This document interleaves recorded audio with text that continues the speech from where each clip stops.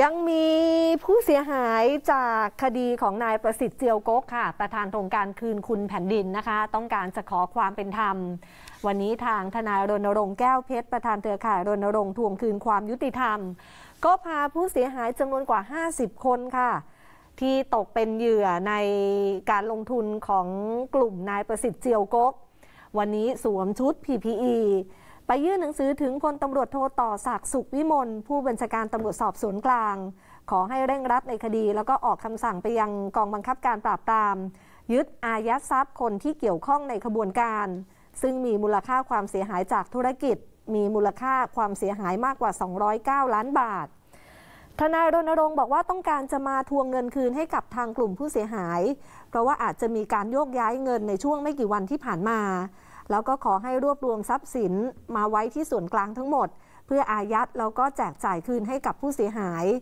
ทนายรณรงค์ยังบอกว่าเชื่อว่าพฤติการของขบวนการนี้เข้าข่ายความผิดแชร์ลูกโซ่ค่ะ ถ้าเกิดเรายึดทรัพย์สินได้ผู้เสียหายมีโอกาสได้เงินคืนเต็มจำนวนทุกคนครับเพราะว่าไม่ได้มาแจ้งหมด ส่วนใครที่ยังไม่ได้มาแจ้ง ถ้าอยากจะได้มีการเฉลี่ยทรัพย์คืนก็ให้มาแจ้งความซะเพราะธุรกิจตัวนี้เป็นธุรกิจที่ กิจแชร์ลูกโซ่นะครับ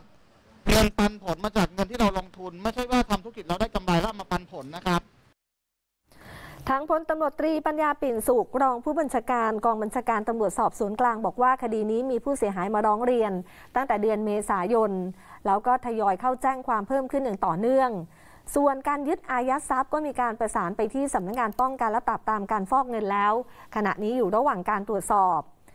สำหรับนายประสิทธิ์เจียวกกค่ะ เมื่อวานนี้ก็ถูกควบคุมตัวไปที่เรือนจำพิเศษกรุงเทพแล้วนะคะ หลังจากที่ศาลไม่อนุญาตให้ประกันตัว เนื่องจากเกรงว่าจะไปยุ่งเหยิงกับพยานหลักฐาน ผู้ต้องหาในคดีนี้ถูกจับครบแล้วทั้งหมด 6 คน ก่อนหน้านี้จะมีรองประธานที่ยังหลบหนีอยู่นะคะ แต่สุดท้ายแล้วก็สามารถจะจับกลุ่มได้ เมื่อวานนี้ทางตำรวจเองคัดค้านการประกันตัวค่ะ เนื่องจากคดีนี้มีผู้เสียหายจำนวนมาก มูลค่าความเสียหายก็จำนวนมากด้วยก็คัดค้านการประกันตัว เนื่องจากเกรงว่าจะไปยุ่งเหยิงกับพยานหลักฐาน